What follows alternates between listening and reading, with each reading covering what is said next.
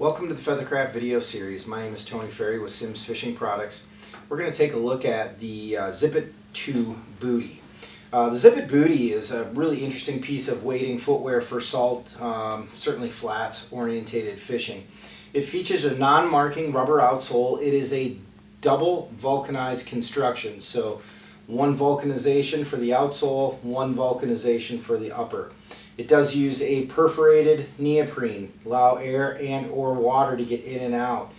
Uh, corrosion proof, uh, anti-rusting YKK zipper for getting out in and out. Also features a stretch neoprene gusset, so again, a little easier to get on and off. Uh, the Zipit 2 is really designed to be used again in flats wading scenarios, certainly maybe on a, uh, on a skiff uh, but also through the muck and sand and marl that you would encounter in, in the flats of the world. Um, really should be bought in your standard shoe size. While we only offer it in full sizes, it, you, this is not a one size up sort of idea. Um, Zipit Bootie 2 comes in at $79.95. It's double E width and available in sizes 8 through 14. Thank you.